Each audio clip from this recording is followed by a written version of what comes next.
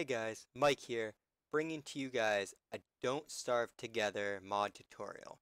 Now this tutorial is going to be based off Custom Settings, a mod I designed and developed back in 2016.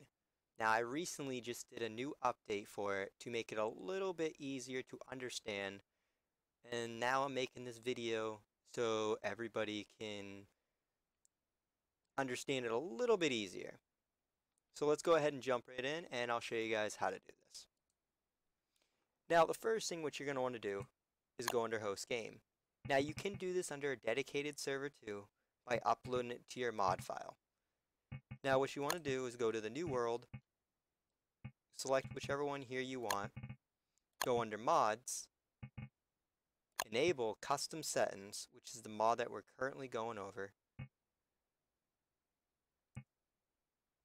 Now, go back under settings. You're going to use this game mode all the way over to custom. Now, this game mode is a wilderness game mode that now has portals and a choice to change your character on death.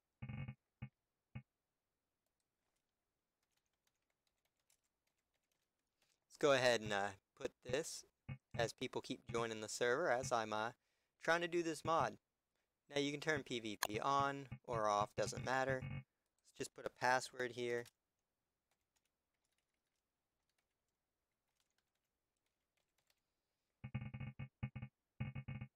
Now, what you want to do is go back over to mods, go to configure. Now you have different options here. So the spawn location, this gives you the option to choose portal or random. Now portal basically makes it so when you die you always spawn in the same location. Now this is great if you have your friends trying to find you when they first join in the game because you can say go right of the portal or you can just go right back to the portal and pick them up. I personally like random.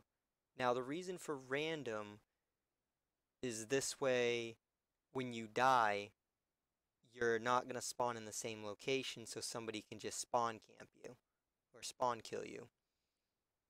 But for now we're going to start with portal. Now change character. You can have no or you can have yes. Now if you put yes, what this allows you to change your character after you die. No, you become a ghost and you must need to be revived. So right now we're going to pick no. That way we can show you what the ghost feature is. Now ghost sanity drain. This only works when change character is on no. So if you put no, basically when you're a ghost, you can't torment other, other players and make them go insane. By having it on, you could just follow around the same player and basically make him go insane until the darkness gets him. Now, Portal Resurrection. Now, this is not available if you have your spawn location set as random. Now, if you set it as random, you don't have a portal to go back to. But if you do have it on portal, basically every time you die, you can go back to the main spawn point and you can resurrect yourself. Now, resurrection items. This is good to have, but if you want it so you can only resurrect yourself at the portal, I highly recommend you put this at no. Now let's go ahead and apply these changes. Let's generate the world, and I'll show you what it is. So I'll see you guys when we get in the game. Alright, as you can see, the initial startup screen is you can select which players you want. So let's go ahead and let's select somebody with an actual weapon to start out with. That way we can uh, kill ourselves faster. So as you can see, we spawned at a portal, which is currently located here on the map. So now let's try to go kill ourselves. So I'll see you guys when we find an enemy to slaughter us.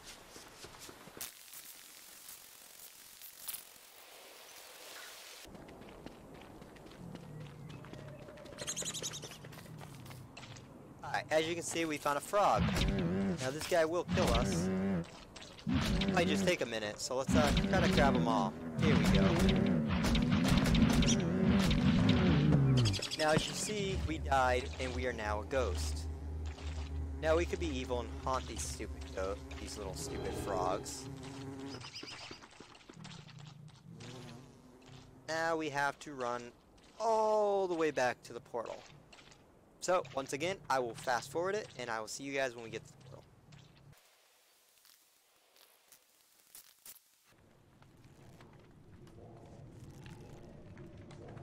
Okay, as you guys can see, we are at the portal. Now what you do is you haunt this portal, and you now get your character back. So what we're going to go ahead and do is we're going to quit out of this game, we're going to disconnect, and we're going to change the settings.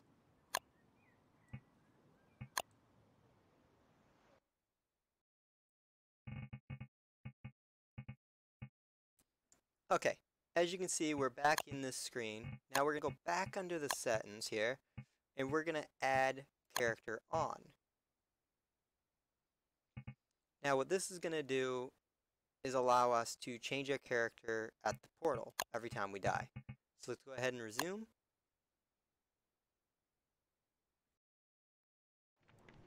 Okay, as you can see, we're back right where we are, left off. Now let's go try to kill ourselves again. This time we're going to go this way, maybe to something over here. Kill us a little bit faster. Alright, I'll see you guys when we find somebody to kill us.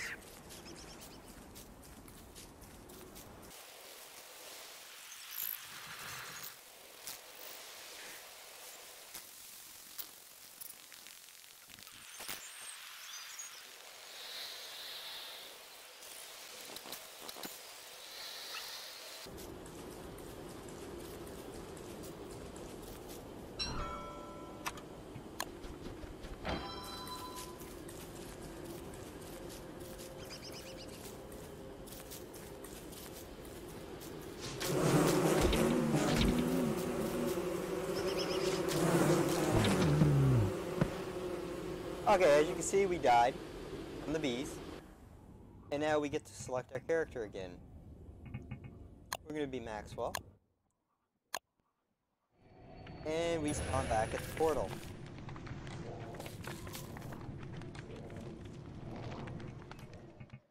Now we'll go ahead and disconnect again.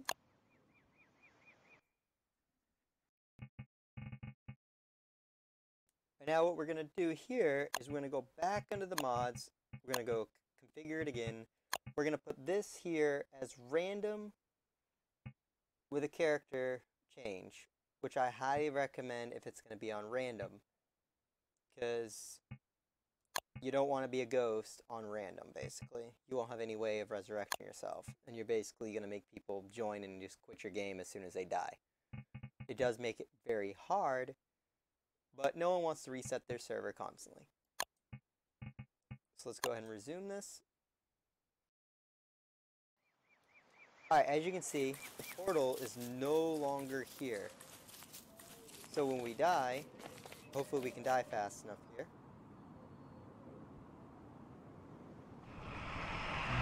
Should be two hits. One hit. Wow. Darkness is uh, stronger than I thought. Now you can pick who you want. Let's quickly jump into this guy here. Now we're in a random spot.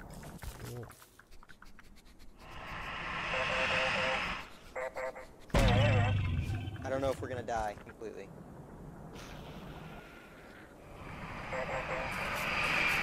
Ah, we didn't die. That's fine though. We can let the spider kill us.